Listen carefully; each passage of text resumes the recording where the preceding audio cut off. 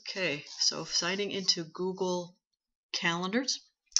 First thing you do is go to Google and you sign into your account. I'm in mine account right right now. And then you select Target World. And then you go to this main menu. And this is why I like Gmail because you've got so many tools that you don't get with other email providers and it's free. And there's even more if you want to look at it, but we won't do that right now. So main event, go down to calendar while logged into your account. And I already created a few. We can combine them any way we like. So let's go to employee schedule to make somebody schedule. Create an event. Let's say James Monday, Wednesday, Friday. Let's start on, let's say today the 15th at 10 a.m. until, let's say 1 p.m. You can make it in all day, excuse me, or you can repeat it in case you want to set out the whole month in advance. So let's go monthly. Um, repeat the days of the month or the days of the week. Starting never ends. Um, chances are you're going to be doing weekly. So you select what days he's going to work weekly.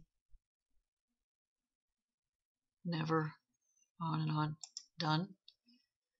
Uh, everybody knows Kemper Road.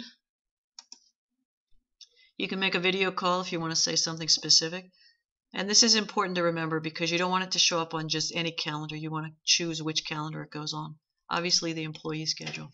And then you can leave a message if you want something specific. So please sweep the ranges today, whatever you want to tell them. You can add an attachment, a PDF or color code it, add a notification like a pop-up or something like that. And you should show yourself as available and make it public because more than one person is going to be using it. But the only people that can log in and make changes to it are the ones I give permissions to. So we could talk about that later. Um, you can add people, modify the event. Oh no, these don't really come into play too much with a schedule.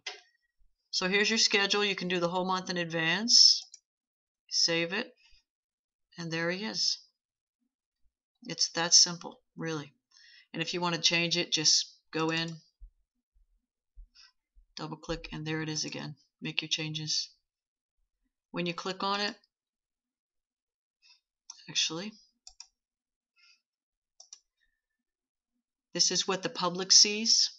Okay, James is working this time, this place. Okay. You can do the whole month, like I think I said that. I said that a lot.